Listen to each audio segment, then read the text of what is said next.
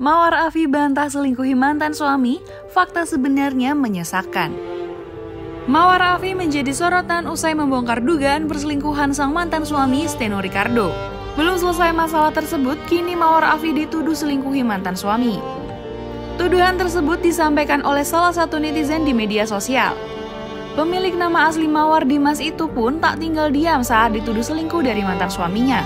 Sebaliknya, Mawar Afi langsung membeberkan fakta yang bisa dibilang menyesakkan.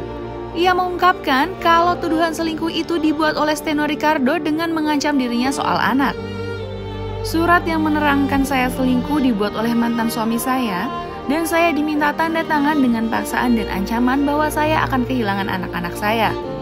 Tulis Mawar Afi di Instagram Story Selasa 22 Februari 2022. Tak cuma itu, Mawar Afi mau menandatangani surat cerai tersebut dengan dalih agar semua proses cepat selesai. Begitupun dengan keterangan perselingkuhan di agenda cerai. Itu pure keterangan Steno dan kuasa hukumnya. Alasannya agar proses cerai cepat selesai. Karena kalau tidak ada masalah pelik, gimana hakim bisa memutus cerai? Saya punya bukti kuat mengenai ini, lanjut Mawar. Mawar Afi berjanji akan mengungkap fakta sebenarnya dalam waktu dekat. Sembari berseloroh, dia masih memberikan waktu buat sang mantan suami menikmati bulan madu bareng istri barunya.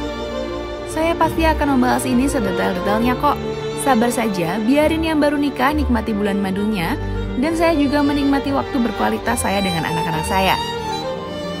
Dikabarkan sebelumnya, Mawar Afi bikin geger setelah mengungkap bahwa Steno Ricardo berselingkuh dengan babysitter anak-anaknya. Sebulan cerai dari Mawar Afi, Steno Ricardo dan mantan pengasuh anaknya itu memutuskan buat menikah. Namun, dalam klarifikasinya, Steno Ricardo menekankan tak pernah main belakang selama menikah dengan Mawar Afi. Hanya saja pertanyaan itu disambut sinis oleh para netizen.